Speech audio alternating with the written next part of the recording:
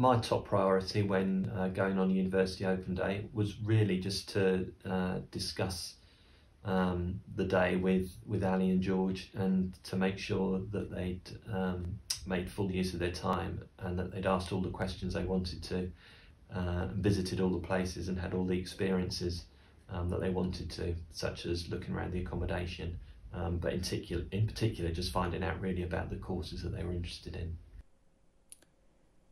So I think our top priority when attending the open day was to double check um, some of the information that had been read, so things like module content, um, and if there was sort of optional modules and things like that, that was really important. And also if there was a practical element to the course. So in my daughter's case with social work around placements, about how easy it was to get placements, how far away they were, where you, whether you needed a car and things.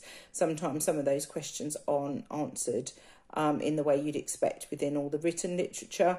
So I think um, for, for us, that was sort of like um, a top priority, really, as well as um, obviously going and looking at things like accommodation so you knew how much you were getting for your money, really. I think so, actually, physically looking at accommodation and then working out where would be the preferred place for you to live if you had an option was was really important.